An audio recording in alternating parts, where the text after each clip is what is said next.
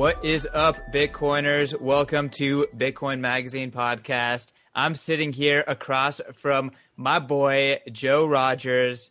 How's it going, Joe? What's up, man? Good to talk to you. Yeah, man. Well, we're here to listen to your interview with Tyler Winklevoss. What a way to kick off your Bitcoin Magazine podcast career, interviewing a long term Bitcoin bull and billionaire. Yeah, this was pretty awesome. And I did not tell Tyler this, but this was my first podcast interview. Um, so what a, what a way to kick it off. But um, he was gracious enough to take the interview. And uh, man, overall impression is that Tyler is one of us. He is a true believer, and uh, it was a ton of fun to get to talk to him. So you guys started off the conversation kind of talking about Tyler's article arguing for 500k BTC um, and then you guys really kind of got cosmic from there. What was your favorite part of the conversation? I think that it was pretty neat. Uh, they wrote that 500K article back in August, uh, him and his brother, and um, kind of set the stage for the conversation. And um, they really, we've seen some really great pieces put out over the years that I consider like leave behinds. These would be articles that you could take to a big family gathering. So uh, this would be one that I would print out for uh, Christmas coming up, and you could leave it um, with in-laws or whoever uh, to help orange pill them because he lays out a really clear picture on you know the bullish case for Bitcoin going to 500k and well beyond. Uh, but that being said, that was fun to get his perspective, and then uh, we kind of got into a bit of um, just talking about the state, kind of hating on the status quo. I know that you kind of uh, joke around with me being kind of doom and gloom sometime, uh, but there's definitely a shining light, which is Bitcoin. And so uh, we talked about that, and uh, we talked about what kind of uh, motivates Tyler um, besides just his role at Gemini and his big bags. Uh, he's super optimistic about the future that Bitcoin and usher in. And then we got into uh, health, believe it or not. You were kind of talking about carnivorism and Bitcoin as a meme, and uh, yeah, he's, he's he's super interesting and um, obviously cares about that. But I mean, overall, like I said, uh, the conversation was fluid. Uh, it was like talking to a buddy. He would definitely be someone I would like to have a beer with. And uh, I think that he's going to reach out to Saylor about that 100K party. I think that uh, he told me he had not gotten that invite yet, uh, but he's. I think that he'll be there with us. That's awesome. Well, maybe he can bring his yacht too, and uh, and you know add some extra capacity. Anyway, before we get into the podcast, let's talk about our sponsor. It is Level lvl.co just drop the vowels uh, this is a really cool exchange joe um, this this exchange they're not trying to be an exchange they are operating from the mindset that bitcoin is money and they want to provide banking services for bitcoin and bitcoiners right so it is like signing up for a bank account with a full FDIC insured checking account that is equipped with a debit card. But that account is also directly linked to a Bitcoin wallet. And you can go between USD and Bitcoin for free, no spread, no exchange fees.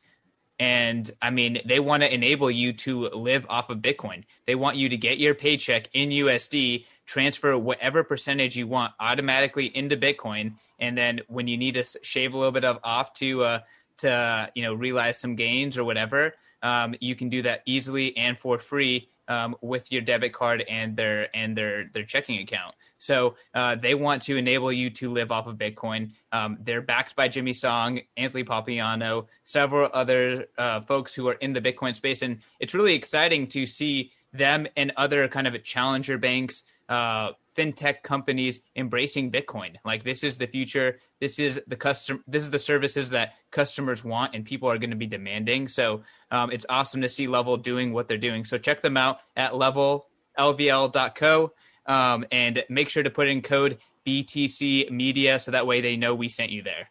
All right, that's enough from me. Uh, let's get into this awesome conversation with Joe and Tyler Winklevoss. All right, thank you for joining us. Uh, today I've got Tyler Winklevoss, who is uh, co founder and CEO at Gemini Exchange and principal at Winklevoss Capital. Tyler, thank you for joining us today.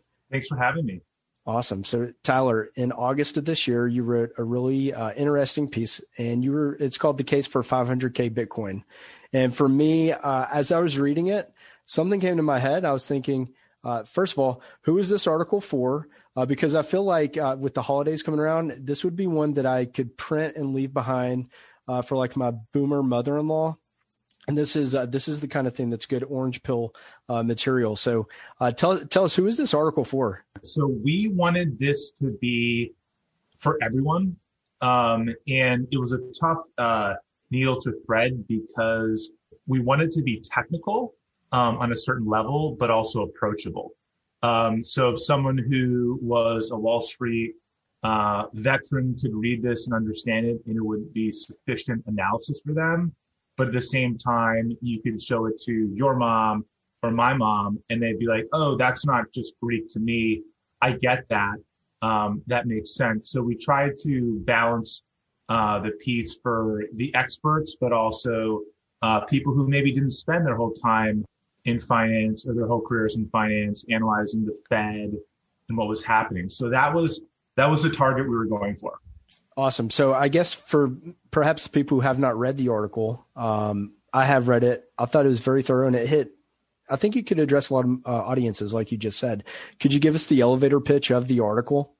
Yeah, the elevator pitch is that Bitcoin is gold 2.0.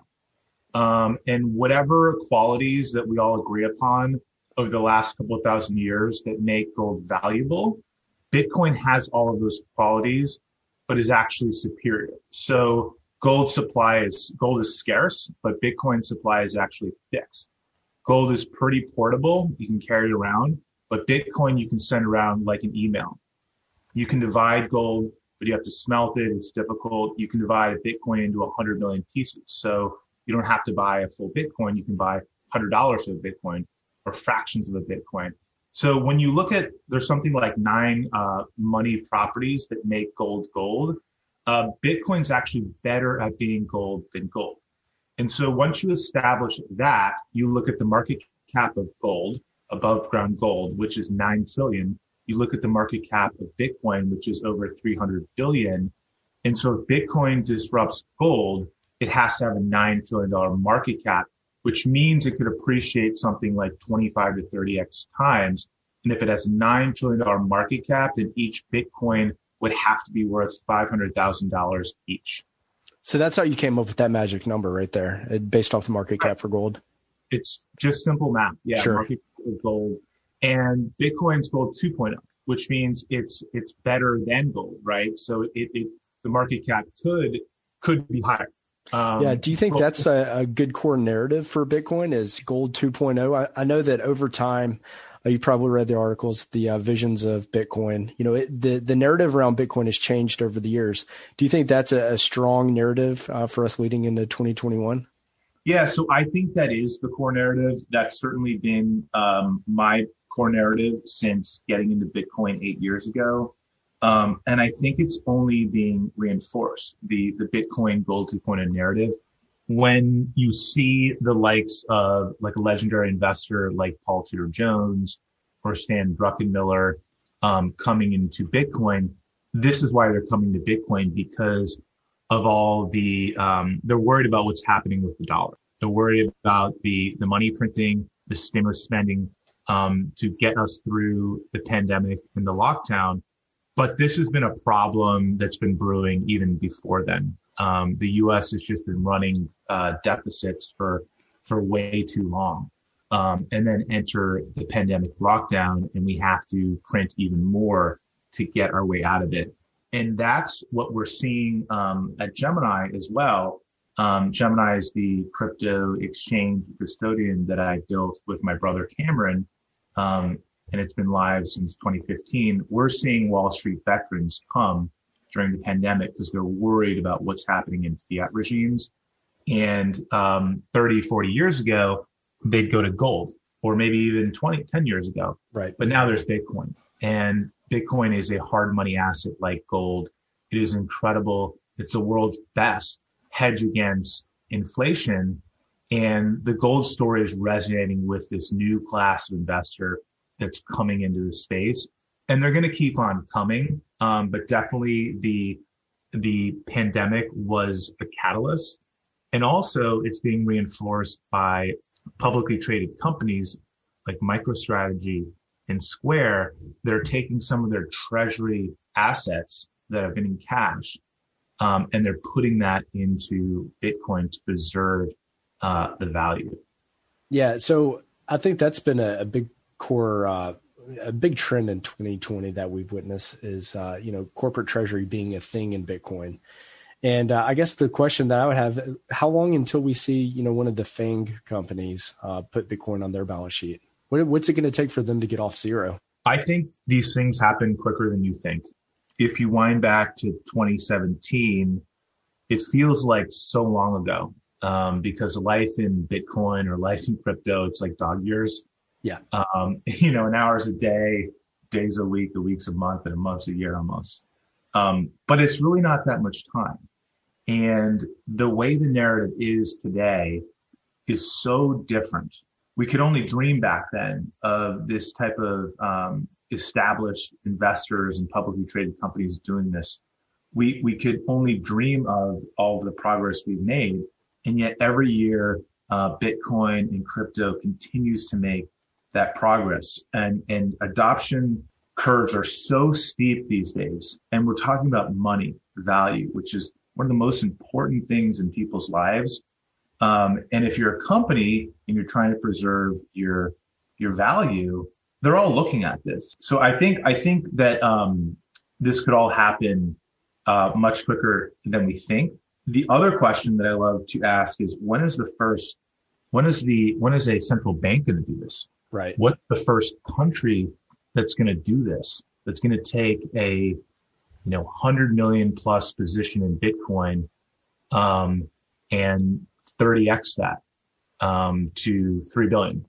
You're seeing a lot of the central banks, the, the rhetoric out of there is like, oh, everything's normal. This is fine. Money printing. Don't, don't, don't be afraid. But at the same time, they have been stacking up on, on gold. So I like to say, don't listen to what they say, look at what they do. Um, cause that's a much better tell of, of, of, of how they're thinking. And, um, you know, they, they know what they're doing with the, with the money printing and everything. Um, they're worried about their own currencies. They're worried about their foreign exchange, their foreign currencies on their balance sheet, and they're stocking up on gold. And I think it's just a matter of time before they start stocking up on, on Bitcoin. You hit some points there that are super fascinating. And you know, one of them, the money printing itself. Um, I like to think that 2020 uh, has been a hell of a year f- to accelerate the adoption of Bitcoin, just because of that money printer go burr meme. I mean that that right there by itself, it, it packs a really big punch. I know it's a silly meme, um, you know, the actual money printer, but it, explains a lot. And I think it's something that the average Joe, the the people that you're going to see at holiday parties, your normie friends and family members, uh, I think that they understand first principles. Like it's not good to just print money at will, especially at the volume that they've been doing.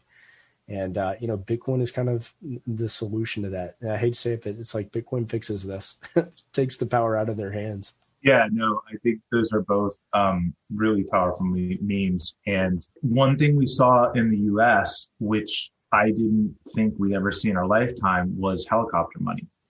Um, this yeah. note that um, bailouts wouldn't just go to the banks or companies like it did in in 2008. Usually, the Fed or the Treasury um, they're used to just it, it's sort of like a B2B thing, right? They just go to the banks or the companies, they buy their toxic assets, sell them back, or whatever. They open up a credit line. They never go direct to consumer, direct to the D2C, or direct to the citizen. Um, and this was a, a helicopter money is what it sounds like. It's literally dropping money out of the sky from a helicopter. That's the, the Milton Friedman parable that he talked about, I think in the seventies. And I never thought that would be, you know, that would come to, to, to be in, in the U.S.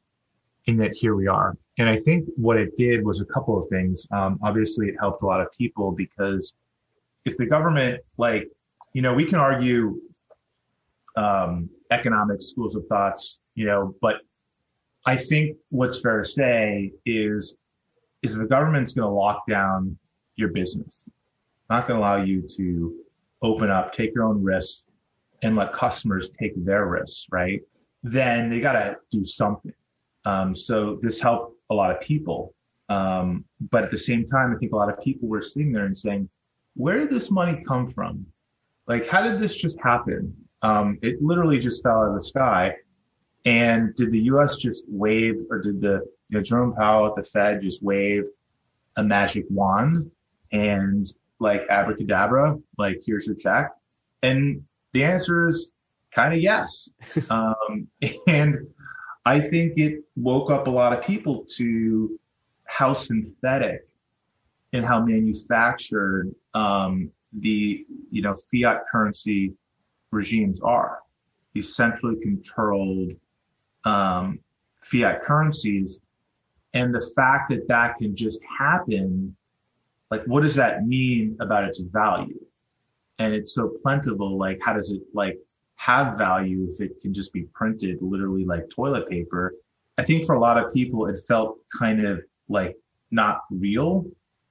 And so there's been this like, there's this psychological, I think there's this like mental block with a lot of people where, and, and I, me, me too, where it's sort of like you, you grow up with this, this money and it's real just because it's what you know. Bitcoin's not real because it just, it's new and it was created not that long ago. So, you know, I, I'm just, people confuse familiarity with with like being real um, in gravitas.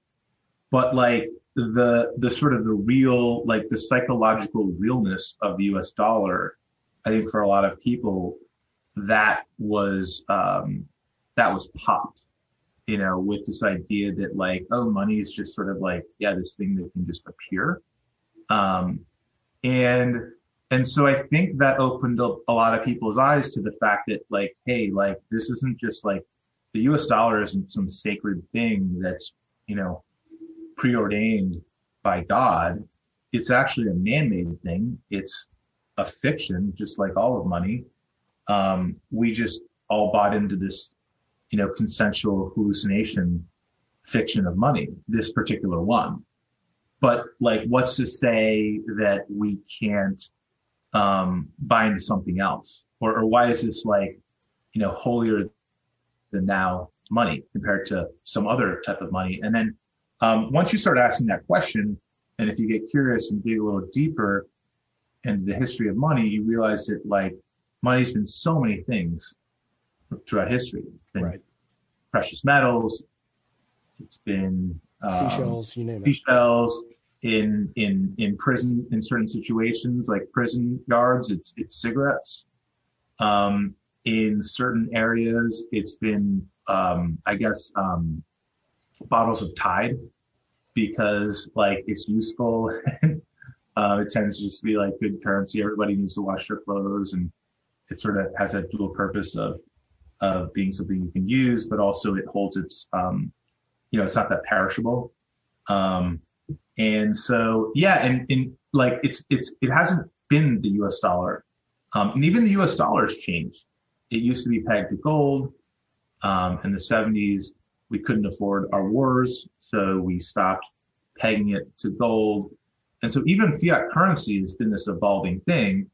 And so, um, yeah, okay, Bitcoin, that sounds pretty cool. Why not? And I think a lot of people, um, you know, that I think that was an eye opener for a lot of people and it made them open to um, and I also think that that that the the stock market has benefited a lot from a lot of people, especially um, the younger generation, being like, "Hey, like I need to figure out a way to invest.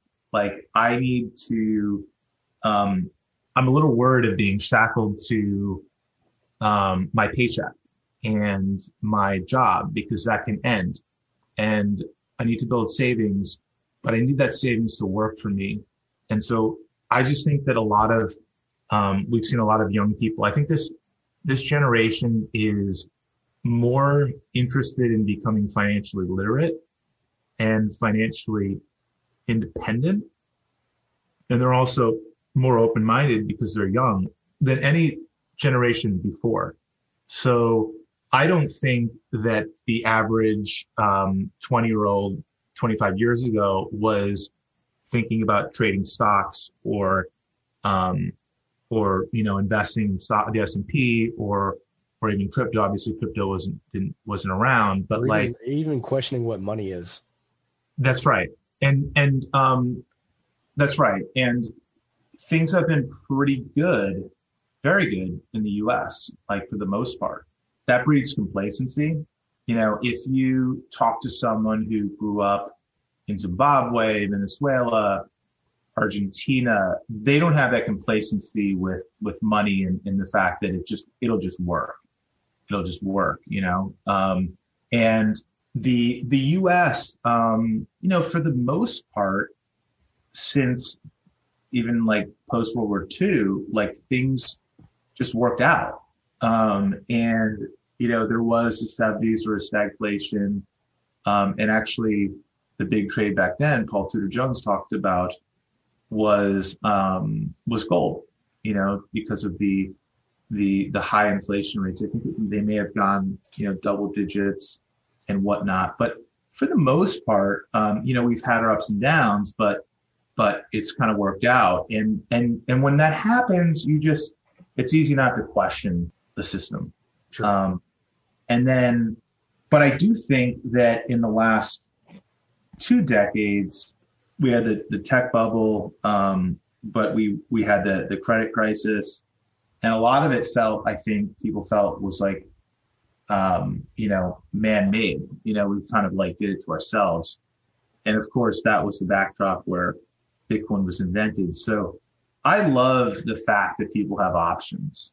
Um, I don't think currency should just be the domain of a government. Just like um, language you know, shouldn't be the domain of a government or or math, um, you know, or science. And um, yet, money has been for a while in the U.S. It's so centrally planned, and I love the fact that um, you know there's a point when when um, you know there was private currencies in the U.S. and, and companies had that, and and I I, I guess I'm um, I'm of the camp of more free markets, more emergent uh, currencies as opposed to by diktat. Like this is the currency because we say, well, I mean, why can't people come to that decision for themselves and choose the currency that they want to trust? Maybe they have more trust depending on where they are in the world in a currency issued by a company than by their, um, you know, local government. And, and it reminds me, uh, uh, Dr. Paul, Dr. Ron Paul was on uh, Stephan Livera's podcast, and uh, Dr. Paul, I don't think that he fully understands, you know, the implications of Bitcoin per se, but he has, you know, for decades been a champion of uh, freedom of competing currencies, and that's good enough for me. Uh, you know, like he doesn't have to fully understand every detail about Bitcoin, but the fact is, you know, the market should have options and um, so I'm right there with you on that one. Yeah, why not? What are we afraid of? I think it's uh, it's pretty obvious. I think the answer is probably the control uh, that they have, and I think that you know we're starting to see some you know more aggressive moves by even uh, other governments around the world. Uh, you've probably seen some of the action uh, coming out of France. You know their attempt to uh, be able to capture all cryptocurrency transactions uh, essentially trying to KYC, AML, all crypto transactions uh, over there. I guess curious on your opinion about you know the the recent proposal of the Stable Act and um, you know how our legislators are just out of touch, or do you think that this is going to be a big red flag for you know Bitcoin adoption moving forward? It's a great question. I actually recently tweeted about it um, a week or so ago when it came out, but it reeks of to me that that banks have lobbied hard to get um, this legislation proposed um, because they are worried that big tech or tech companies um, will issue currencies, stablecoins, and banks want currency and money to be the domain of banks the banks have, like we talked about earlier, they have traditionally been the distribution pipes for the Fed and the Treasury. They are like Bitcoin miners, right? They sort of they're the protectors of the currency. They're the they're the distribution channels. They're how people they're the middlemen between people and the Fed and the Treasury. They don't want to give that up, just like governments don't want to give up their the the the their purview of the currency. You know, yeah. it's a control thing. So that that point right there, it just blows my mind. It's like they're trying to protect, you know, the status quo, but at the same time, you know, central banks around the world are looking at digital currency for themselves, and that that's got to be incredibly uh, dangerous for you know local and regional bankers. You know, essentially that might take a lot of their services just right out of their out of their hands. Look, the worst part about that bill, and my understanding is that it doesn't have a lot of legs, um, at least um, anytime soon. Um, I think that it, it, it, you know, the next session is something like early January, and it's just not going to be seen as a priority. But the worst part about that bill is was the tweet um, from Representative Tlaib saying that we can't let tech do to people what the banks have done. So we're going to make sure that only banks can do this with the stablecoin. Yeah. Um, it's sort of like punishing um, tech companies for sins they never committed, and then um, making giving a monopoly to the sinners on future uh, innovation with regards to to uh, stablecoin issuance. So it was hilariously poor. It was, I think I tweeted, unstable rationale. it will do exactly what uh, Representative Tlaib is worried about um, happening, and it will be it will give um, the um, a monopoly on innovation in the stablecoin space to banks, and that's never giving anybody a monopoly, especially banks, has never been good for innovation or consumer protection. So the bill was ironically or uh, just really misguided in in like sort of the effect and, and poorly thought out. And it sounded like incredibly hypocritical and bought by the banks. I, I think and i think people see that. It's really sad. You know, I don't think that the bill has a lot of legs, but just the fact that an elected official could be so um, misguided or on purpose, purposely misguided to propose something like that, that is really so embarrassing and an affront to American values of innovation and competition and free markets. I think that's the alarming thing. I think people need to realize that, like, look, either this kind of bill is being proposed out of sheer incompetence, or worse, um, you know, this is actually what um, our elected officials believe in, which is scary. We deserve better. We we we should we should uh, demand better. And so this is the kind of political hackery where yeah, politicians um, and, and whatnot um, they can really hurt innovation. They can really hurt America. And we have been big proponents of regulation in the space for the companies that hold a lot of value for uh, for their customer base, which is very different than regulation on a protocol level. But also, um, there's a huge you know point about that. We're very pro thoughtful regulation, and regulation is a spectrum that um, you know can be done right, you know, thoughtfully that actually ushers in healthy markets and um, is great for everyone. And then it can be too light, where it's Wild West, and you have Mount Goxes of the world happening, those kind of um, you know catastrophic events. And it can be on the other end extreme. It can be way too um, it can just stamp out and extinguish competition. It can be too restrictive. Regulation is important on some level, especially with the companies that hold value, um, but it has to be done thoughtfully. And the Stable Act was a thinly veiled attempt to to um, extinguish competition, give banks a monopoly, um, and it's just terribly thought out regulation. And I'm hopeful that it, it goes nowhere, but also alarmed that you know people can still you know spin that up and put their names on it. Yeah, it, it uh, it's alarming to me because it normalizes this kind of dialogue. It just pains me that this is even being proposed. And uh, I don't know, you, you hate to see it, but kind of in the same um, line of thought, I, you were recently quoted saying uh, Bitcoin is like a square peg and a round hole for the financial system. And I guess my question to you is uh, this has been a, a, common theme in 2020 here recently, uh, but what does the Great Reset mean to you? I think usually I actually, when I say square peg round hole, I'm talking about um, like existing legacy payments working on working on the internet and and how Bitcoin is actually the the first ever internet native money. So it actually works the same way your email works. It's not um, shoehorned onto the internet like credit cards. You know, our our legacy money that was built before the internet even existed bankers built credit cards, they built ACH, they built Wire, Swift, all of these protocols that are pre internet protocols. And we've done a decent job of creating the illusion that they work on on the internet. Like PayPal is probably like a really good example where it it's like this body kit that skins these non-internet um, payment networks onto the internet.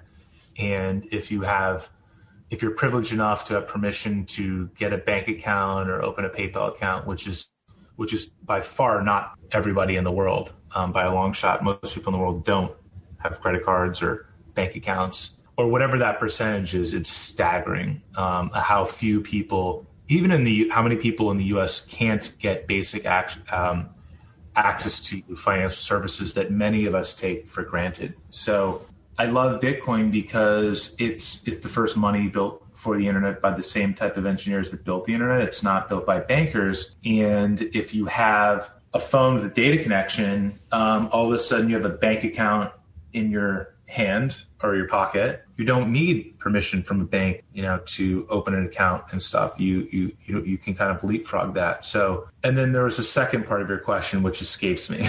yeah, the second part was, you know, I, I think you laid it out perfectly what you mean by square peg and round hole, and I, I couldn't agree more. Uh, but with that in mind, you know, what does the Great Reset mean to you? This is kind of a, a narrative put forth by the World Economic Forum at yeah, Davos. Yeah and uh, it's kind of it, to me it feels like um, the uh, 2020 and the pandemic and the power that I guess the state has put forth kind of has propagated or propped up this idea of the Great Reset, and they're talking about um, kind of swiping debt away, centralization of money. Just I think it's over overarching, just complete uh, control by the state. I was curious just to get your your thoughts on it, but we, we don't have to touch on it if you're not familiar with it. So, is the idea that um, the same people who screwed everything up are now going to fix it? They're here to fix it. Yeah, they're they're here to make wow. it. That, this is like this is like uh, when you're when you're on the golf course. Okay, this is this is the metaphor. Um, you slice the ball into the trees. You completely shank it, and you go into trees, and there's this one foot by one foot by one foot, you know, opening, right? This like tiny opening. I've seen Bagger um, Vance, of course. What's that? Bagger Vance with Will Smith. Yeah, he's got to hit it yeah, yeah. tiny hole. So trying to get through those woods towards the pin instead of laying it back onto the fairway.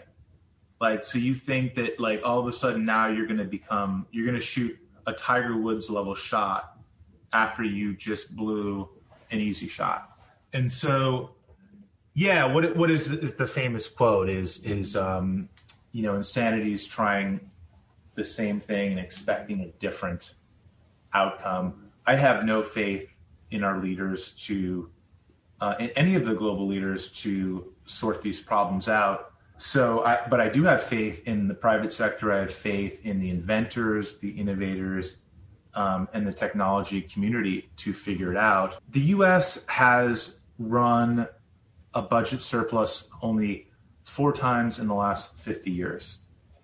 Um, I don't know if you remember when Ross Perot ran in 92.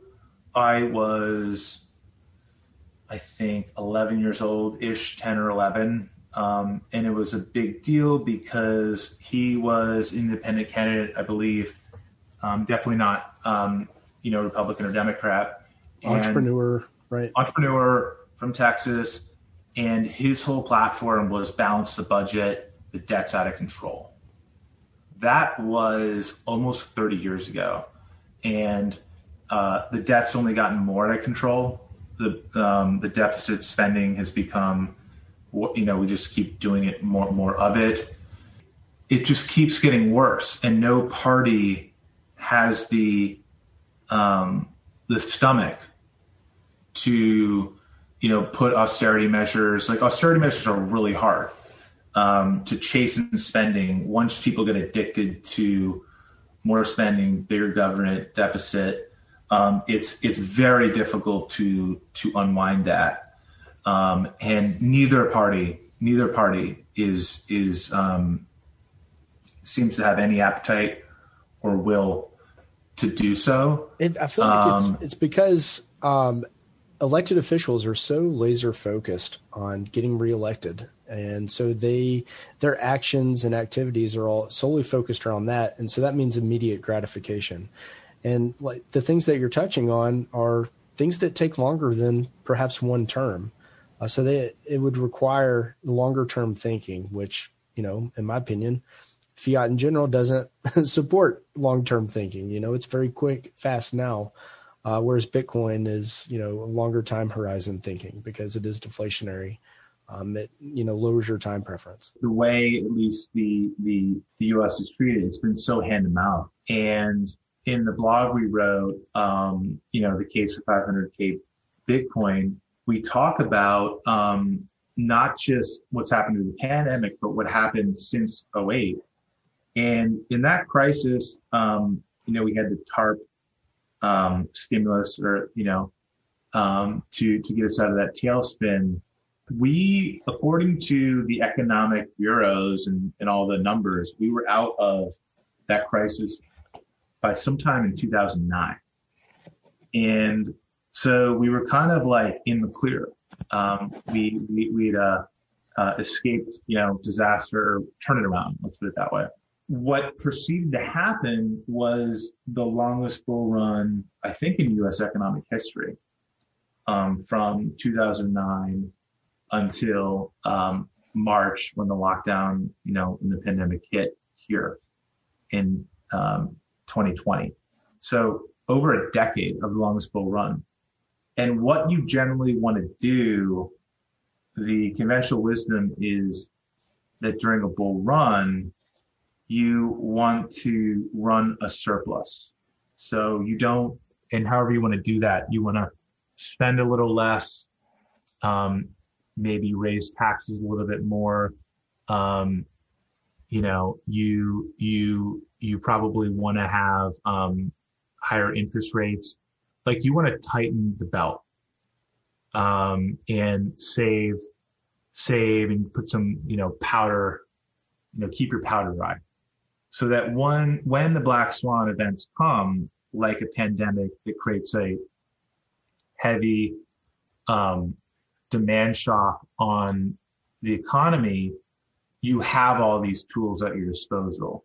So you can lower taxes more you can spend more you can lower interest rates from you know 5% to 0% like you imagine what that would that kind of impact would would have right?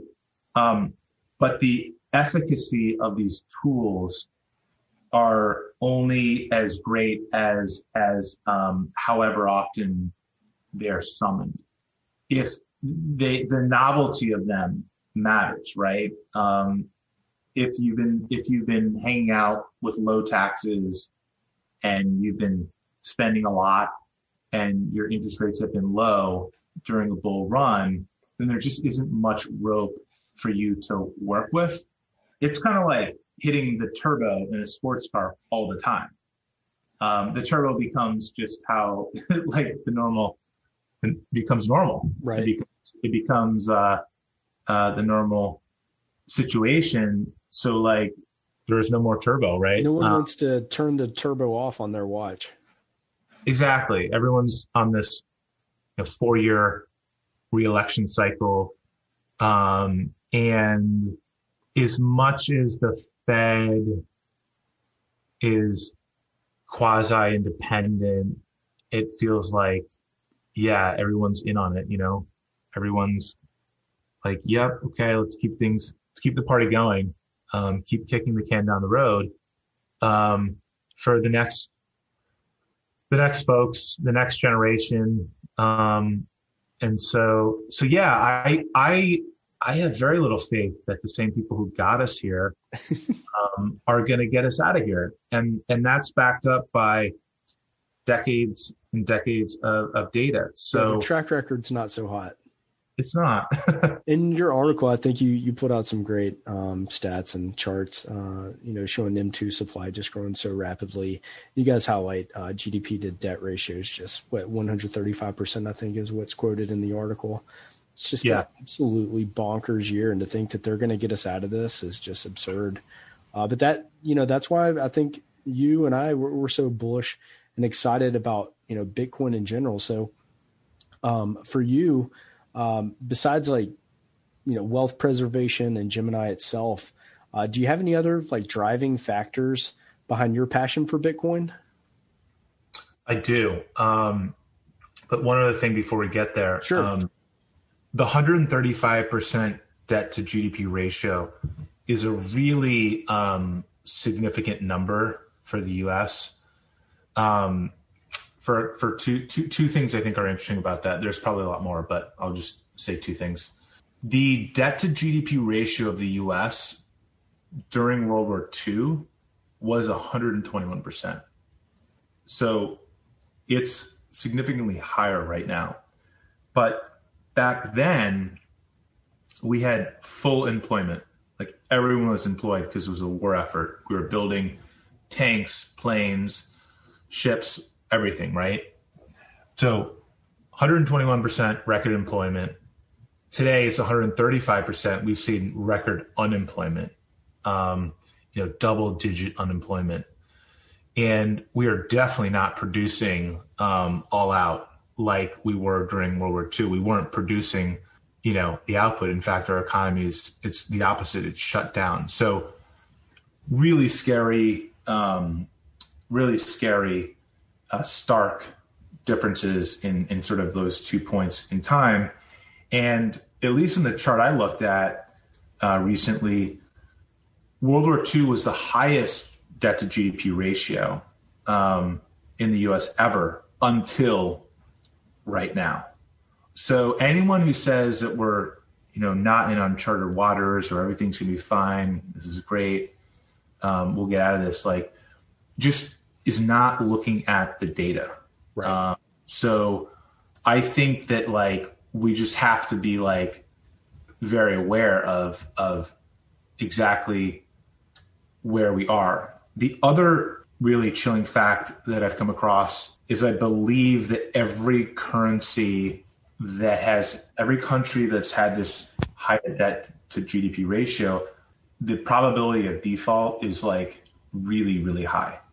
Now, the the US may be in a different a slightly different odds because it's the global reserve currency and the world's trade for the most part is is um, denominated and settled in U.S. dollars, so it gives us more cushion, more a wider berth, let's say, um, and more forgiveness um, with our currency. But we are in an area where historically um, the percentages that countries actually bring that debt to GDP ratio down and sort of clean their act up is is very low.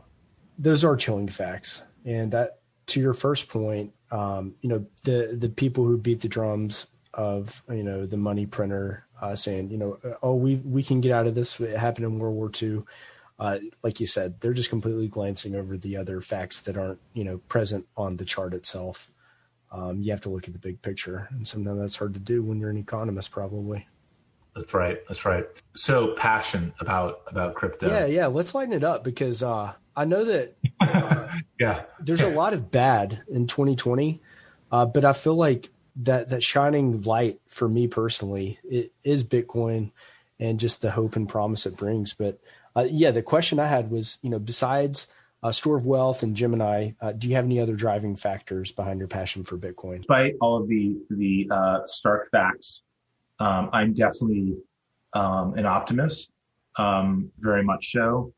I think that's a really important um, characteristic as an entrepreneur, but just in general, definitely a glass half full type person, if you will. So I love Bitcoin because it brings together so many different disciplines. I can't think of investment I've ever made or could have made. I couldn't think of a sphere that I could be building a company in that would bring together so many different disciplines and make me learn and think and question in a way that Bitcoin has. So whether it's like economic schools of thought, whether it's like how um, protocols, um, computer protocols work, whether it's um, uh, like market structure, like capital market structure. It's it's like a combination of Wall Street, um, getting a PhD in economics. Um, it touches everything. Uh, uh, uh, getting getting a degree in computer science, understanding networks, human behavior. Yeah, it literally you said it so well. It it touches everything, and you can go down so many rabbit holes about game theory, cryptography, what's a hash function, how does it work, you know, um, the math behind it all, the the incentive structures of like why does Bitcoin why does it work so beautifully? Why does everyone coordinate together?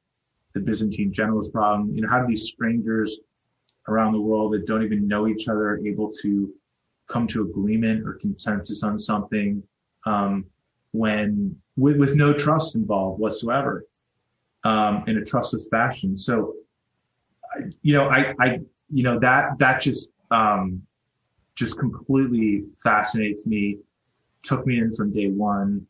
And I, I've never stopped learning every day I've been in this space. I never will stop learning in this space. I mean, there's just, there's no limit. It's infinite. Um, and so I'm so, so grateful that I can a um, that that I can dedicate my life to something which I have that's so intellectually like it's rare like it's hard to for your job to also be your passion and be the most intellectually stimulating thing in your life. Did, I, did that happen over like when you first discovered Bitcoin or did this kind of discovery of all these disciplines and your your passion for Bitcoin did it grow over time? So I, I think early on, um, it's impossible to understand Bitcoin without touching on a bunch of different things. Like we were saying about, um, the gold, um, the gold like framework. So like you come, you, you come into, you come into Bitcoin, right? You, you first meet it and you have like, what the, what the heck is this thing? You know, and you start understanding its attributes. It's a fixed supply. Um, it's a money protocol it works on the internet. Um, it's like digital gold built for the internet. Um, then like, okay, who created it? Like, is it a company? Like, can I invest in this company? So the creation myth alone completely seduces you. Um, you're like, what? Nobody knows who created this. And then you're like, wait, is that a good thing or a bad thing? And then you realize like, that's one of the best things ever because it's not about a human. It yeah. transcends any person or group it's about the math and it's about the, the, the source code and it's completely transparent. And so we don't have to get um, caught up on like the fallibility of some human being and you know whether or not they're like an upstanding individual in society or who who knows right? But who cares? It doesn't matter because because um you know it, it's it's the code speaks for itself you know? And and so so the creation myth the what you know what are the qualities of this? Okay what's an analog? Okay gold. And then you sort of understand okay but like money's this green piece of paper in my wallet or it's a plastic credit card like i can't touch this. Yeah i can't touch this and like mc hammer right?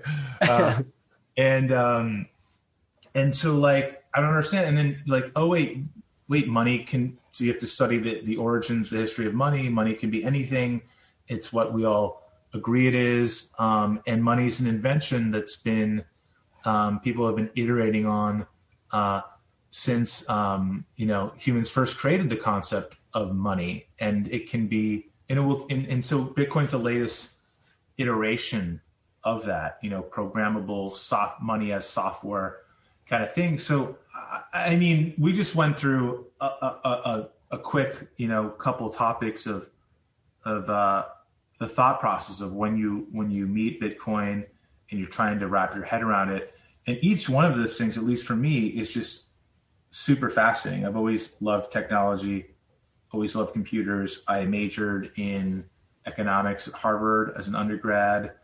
Um, you know, always wanted to be an entrepreneur. Dad's an entrepreneur, um, as a software B2B company. So grew up in a startup, hanging around engineers as a kid, um, would read the the magazines lying around about you know Steve Jobs, Bill Gates, all the Silicon Valley legends. So um, yeah, it was just sort of like uh, this was uh, I was built for this, and it was built for me, I guess. Um, but I, I see this passion in other people too. As soon as they they get into Bitcoin or they they they buy a little bit, they get bit by the bug. I mean, their light their eyes light up when we talk about it. It's and it's everybody. Like it's random people on the street, um, from everything from you know Uber driver, taxi cab driver to you know whoever. Um, people people get so excited about it because they see what we all see, which is everyone sees who who sort of gets into this and gives it um, enough time, is that it's so optimistic because it can build a better future. You can both uh, do very well, um, like economically for yourself, but also do very good for the world around you. And there's very few pursuits where you can credibly say that, hey, um, if this works out, we're going to change the world for the better, and we're going to do do very well. We're going to you know get wealthy doing it. Um, you know it's hard to say that if you're you know uh, no disrespect but it's, it's just harder to make that argument if you are a hedge fund manager or if you are a banker.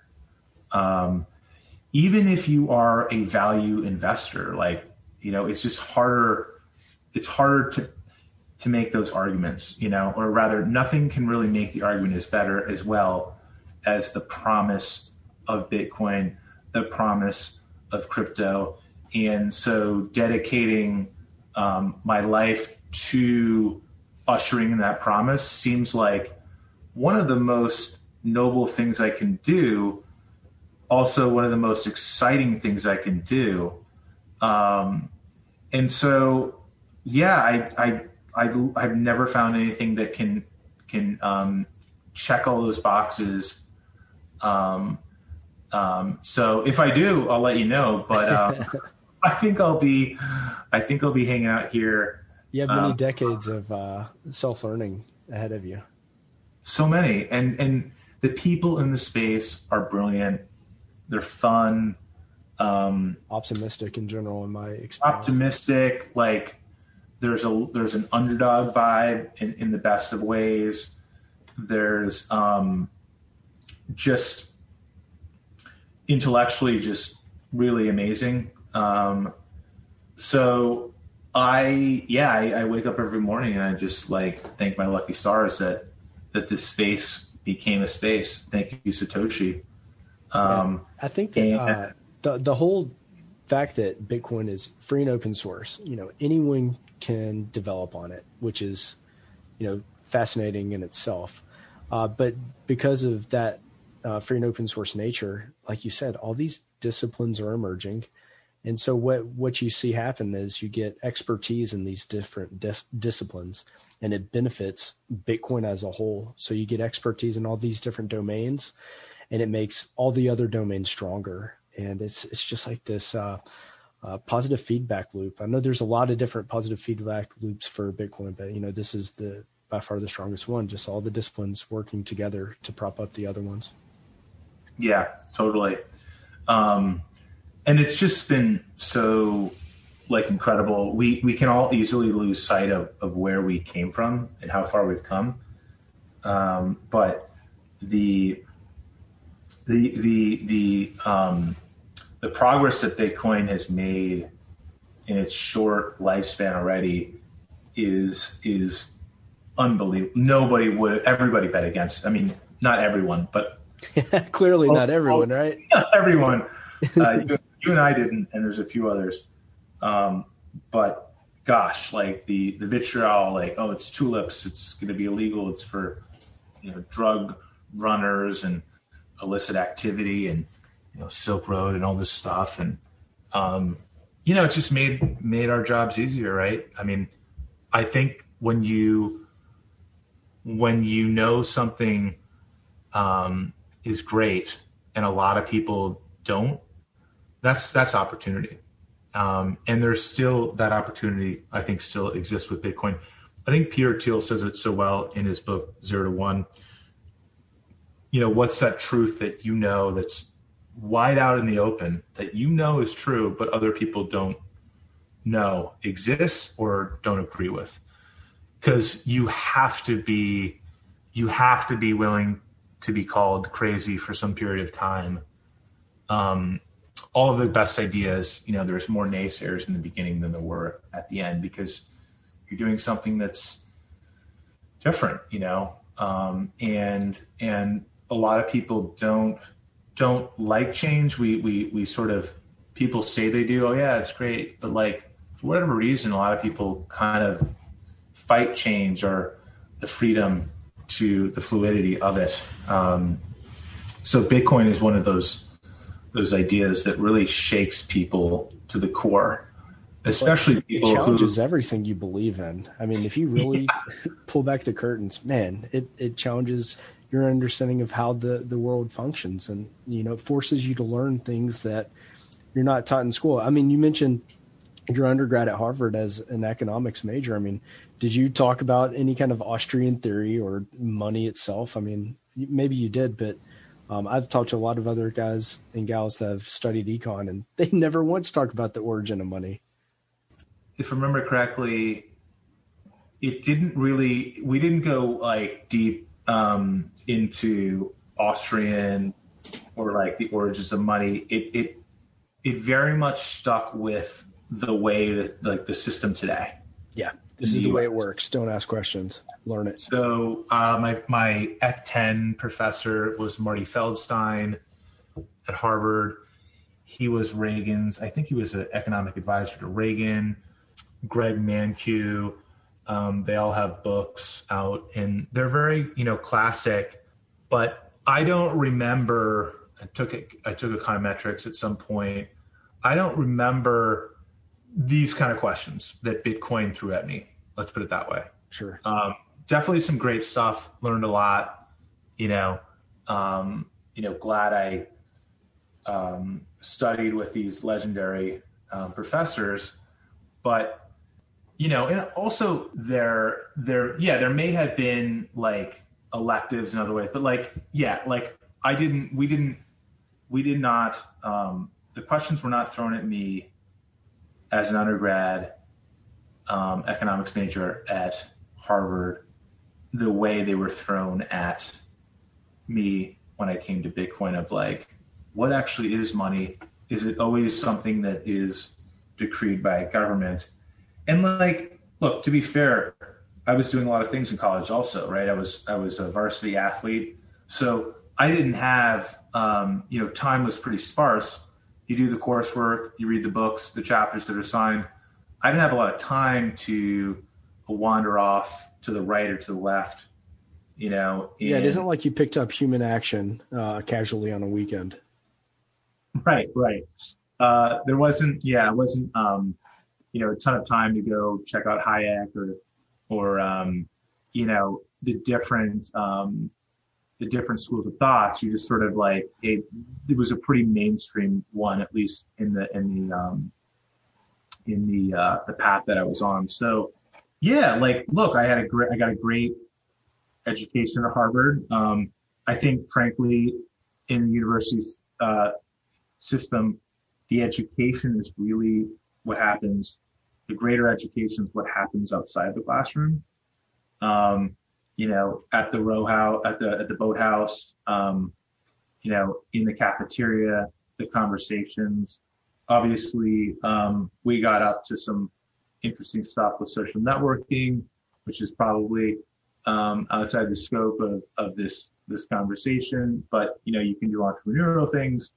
Um, so, um, but this was Bitcoin was a was a whole nother education, right? Even even even going to Harvard, doing econ, um, and learning a lot um, about this area, and just having like a natural like inclination towards it. Um, there was still a lot of assumptions baked in that I had that I just accepted. Um, that Bitcoin like shattered, like really, like you know, and and it was uh, it was an eye opener, right? You know, you kind of think like, oh, I kind of think I get it how the world works a little bit, and then Bitcoin's like, no, you don't. Yeah.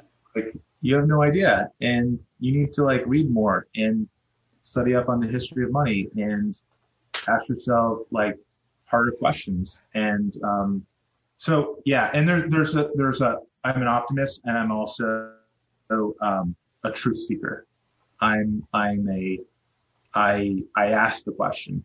That has always been been me, you know, in the sense of like, oh, why why do we do it this way? And that's I think that's why I love entrepreneurship because like I rowed in high school, but there was no high school um, rowing at my school. And my next door neighbor um, was a championship rower. And people said, oh, you could be you should check out rowing. You've kind of got the rowing build, tall, lanky, and I, but I couldn't. And there was all this water around. So anyway, I found a rowing club, started the rowing. My first, our first startup, my Cameron we, and my, my and I, we joked that our first startup was actually starting the the rowing team at our high school. Nice. And then we rowed, became junior, um, went to the junior uh, men's junior national team made that, rowed in the junior world championships in Plovdiv, Bulgaria in 1999, uh, right after it was coming out of, um, I guess, you know, the Iron Curtain and kind of trying to transition into more uh, free market type uh, economy. Interesting um, experience. And then rowed at Harvard, four years, national champions, and then went to, rowed in the Beijing Olympics in 2008. So um, that that all happened because we were like, okay, we, well, I love to row. Oh, there's no rowing. Um, Make it happen. Right. And we just didn't accept it. Yeah, we just manufactured our opportunity. We're like, okay, we're going to change that. I'm, and it reminds me of the, the Steve Jobs quote of, um, you know, just just the when you realize that the world that you've inherited wasn't built was built by people no smarter than you, and you can you know shape it how you want you know you can you you too can can do that and so we've done that from an early age um, and um, definitely like to question things and i was talking i interviewed uh, richard sir richard branson a few years back and um, for the serious episodes that we did we did we interviewed a few people did a couple episodes um, limited time only. And he, you know, his stories were, were like very similar. Like he, you know, he always, all these companies seem to start from a, from his own frustration that, oh, why can't I buy, or I want to read this type of magazine. So he, it's like, but it doesn't exist. So he created it. I want to buy records in the store and he just created it. I want to fly from here to here. Nobody's got that leg. Okay. I'm going to start chartering planes and, and make this happen. And he really just like solved his own local problems by starting businesses. And um, all of them were like out of this frustration with like I the world is is this and I'd like to see it be that. And nobody else is stepping up to do that. So by uh, you know, Josh Gone, and I'm gonna have to go, I'm gonna step up and, and do that myself. And uh he's just done that like over and over again. And I think that's ultimately what a lot of these, you know, great entrepreneurs do, Elon Musk or whatever. Um, they just, they, they don't accept the world that they inherited, just like you don't have to accept the money that was handed down to you. You can, you know, opt out of that system. You can buy Bitcoin. You can build a company around it. Um, so so yeah, that's always, I guess, I guess it really, I was ready. I was kind of like primed for, for Bitcoin, you know, from the get go. Absolutely. Are, are you still rowing to this day? You know, I, um, I work out on the rowing machine. I live in Manhattan for the most part, most of the time, although 2020 is that year where it's hard to, you know, hard to go to the gym, right?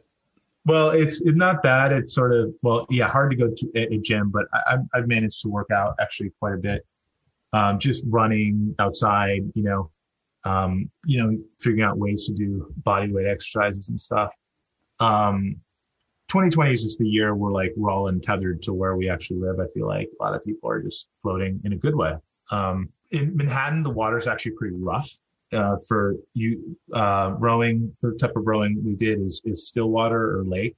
Um, so it's a little bit hard to, you know, get get to that situation. Sure. But I have a I have a rowing machine. It's called an they call it's called ergometers for those people in the know. And so I'll do the you see them in the gym, the Concept Two machines.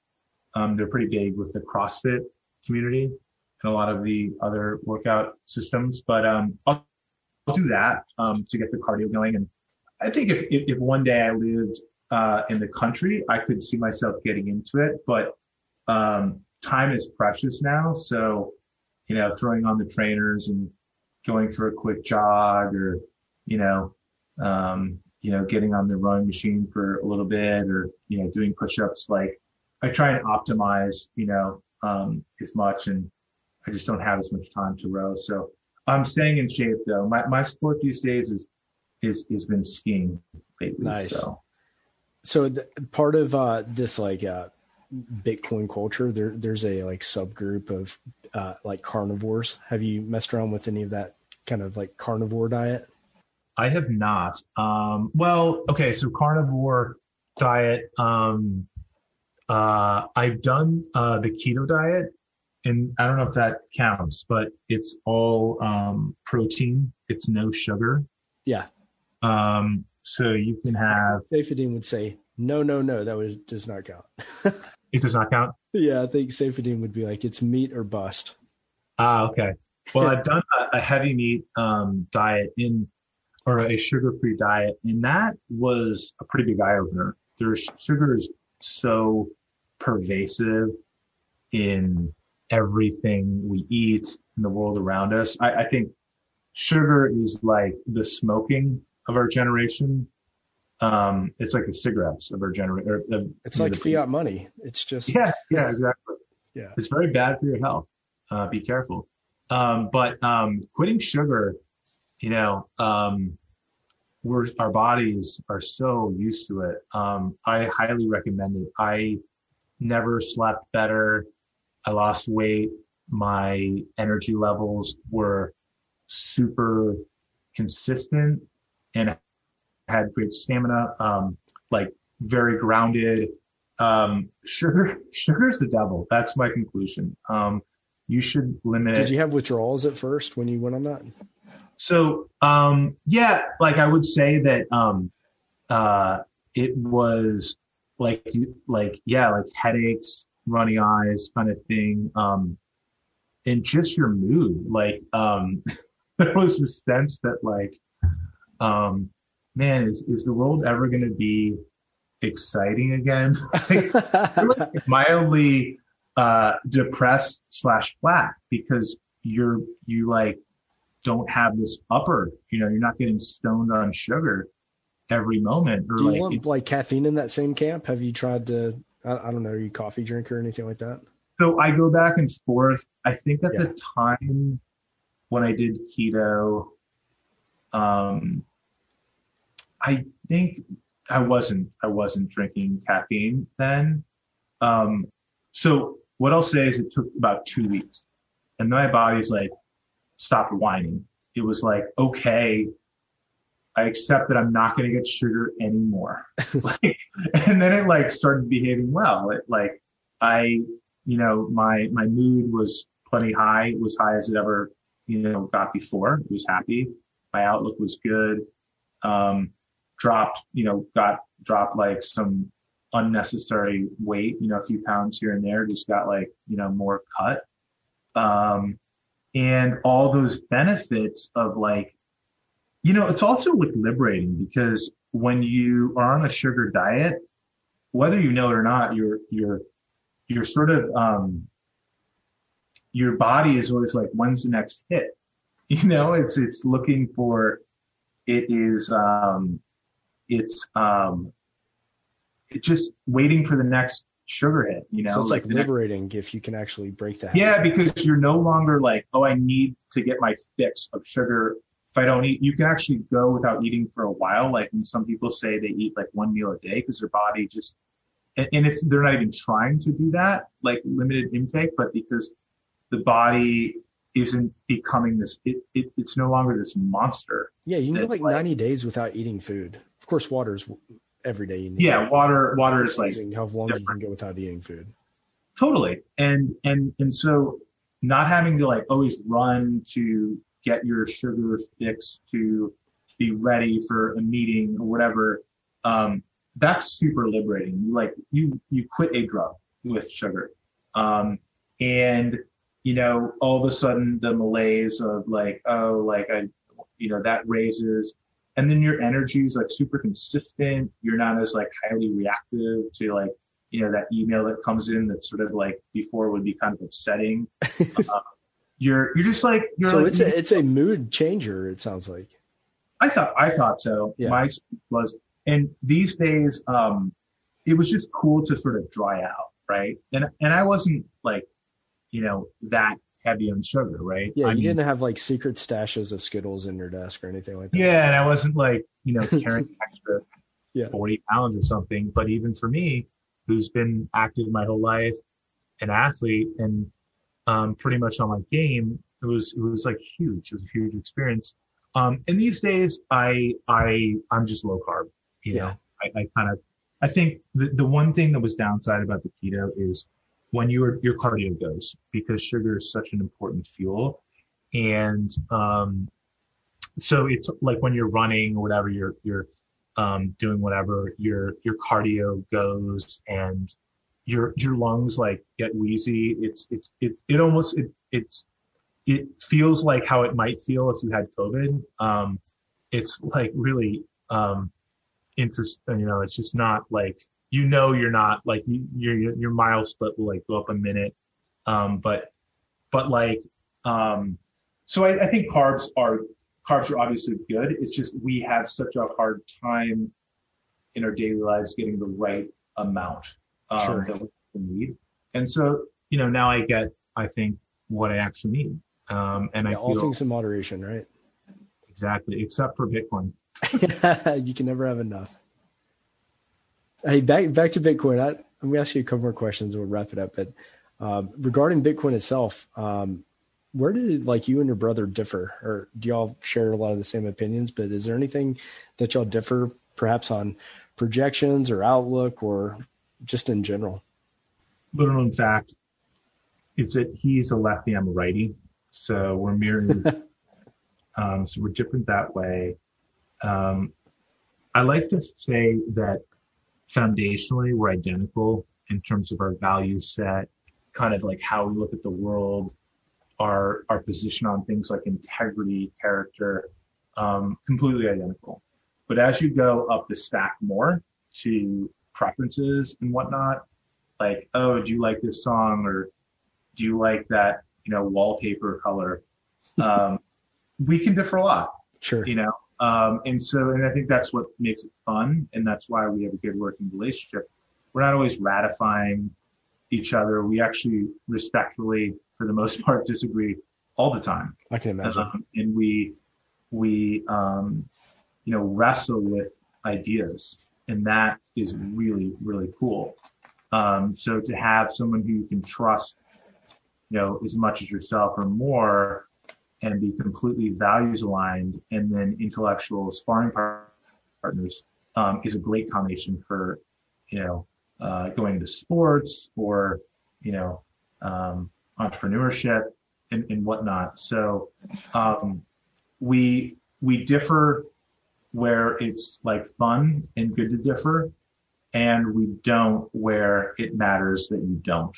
Um, you definitely don't want to be in business with someone who's a different like value set, honesty, or like like what's right and wrong. Um, but you you also, I think, you want to surround yourself by people who have great points of view, diverse opinions, experiences. That's what makes culture vibrant and healthy and. That's why New York is so incredible. Um, and a lot of these um, metropolitan areas is it just brings people together of so many different walks of life. And um, what comes out of it, like from a you know creative, economic, whatever startups, the the the creativity that that happens is just so so mind blowing. Do you? I guess I'm I'm down south, and I guess my question to you would be, you know, you're in New York. It's not been the best year for New York. Um, do you think that we'll see a big resurgence in New York in 2021? so the the it's yeah it's definitely been it's been a tough tough year for everyone uh, definitely tough for cities with dense populations um i heard that vaccine i've heard that from a couple of different sources like that there's very good news on the vaccine fronts um, the hard thing is the distribution but um, i think if all goes well the vaccine could be heavily distributed to uh, many people in the U.S. by um, late, like early summer, late summer. So I, I do think that um, look, New York is New York. I think yeah. it'll bounce back, but I I don't think um, I think the whole country is going to be, you know, we're going to be a bit on edge until until probably this time next year.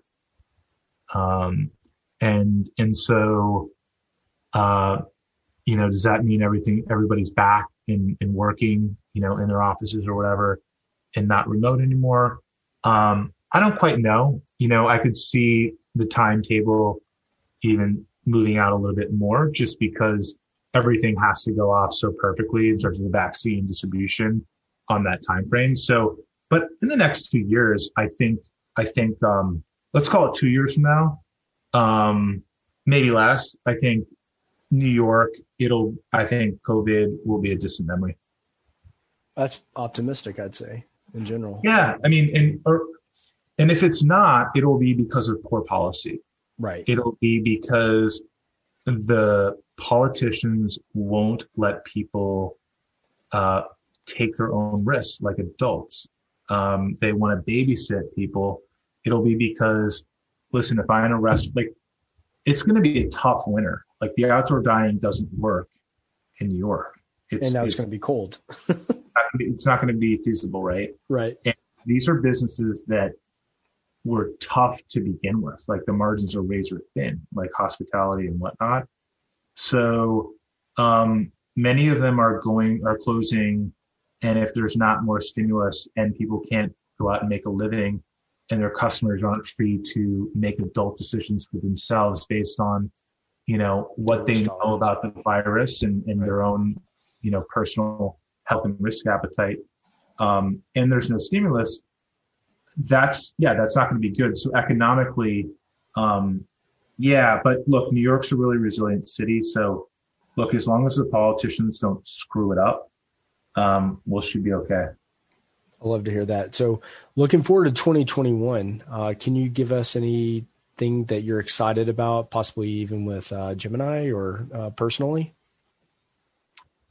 Um, yeah, so much. Um, I'm super excited about just kind of more of the same, really. Um, I think that the Bitcoin gold story. Look, we're not even at an all-time high in Bitcoin. Right. Um, the bull, bull run hasn't even started.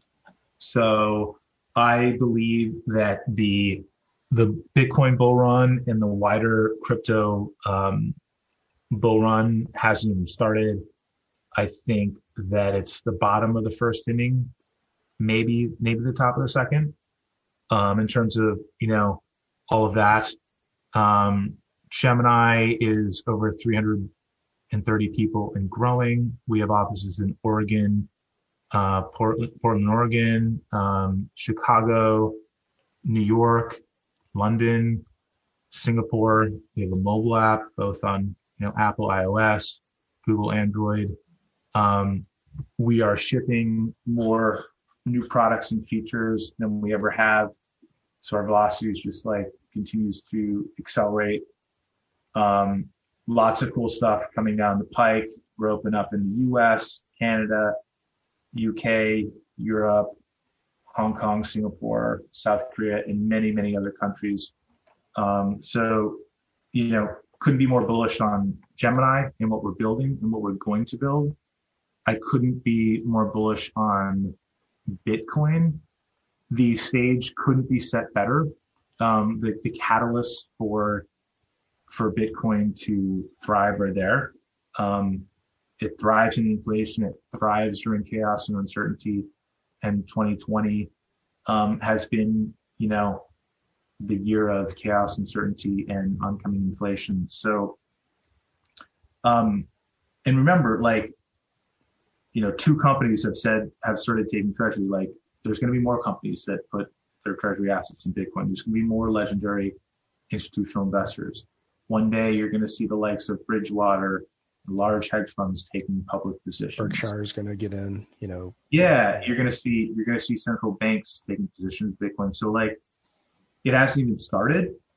So um, I could go in the weeds on like a lot of stuff, but like I just think thematically, I'm excited for, um, you know, grateful for everything that that um, Bitcoin and Gemini's accomplished, but also um, super excited that like yeah, it's it's like hasn't even started. So I'll did you uh did you get an invite to Michael Saylor's hundred K party or are you gonna throw your own party?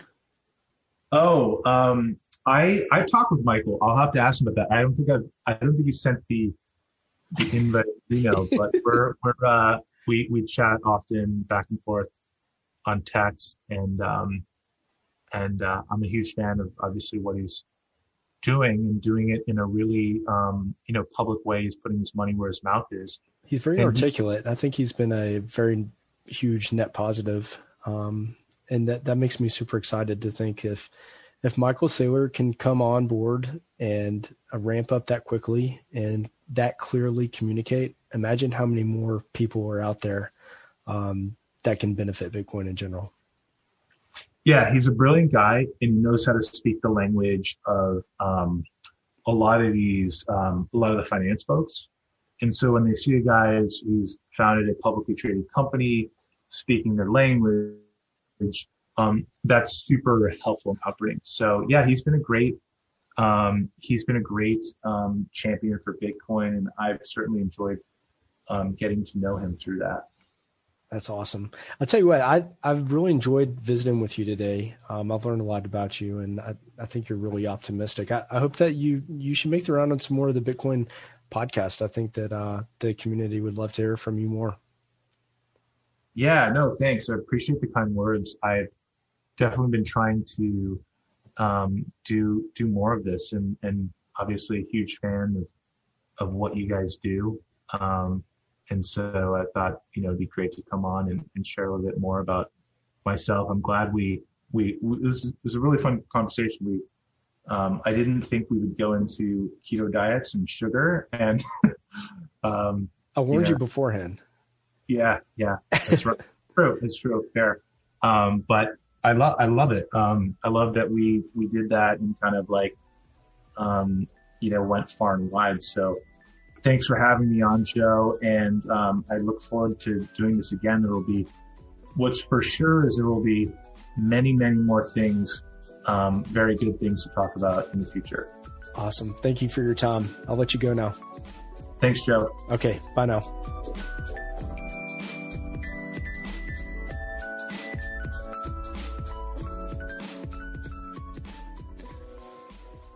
A quick reminder that all of the content in this episode is for informational and entertainment purposes only.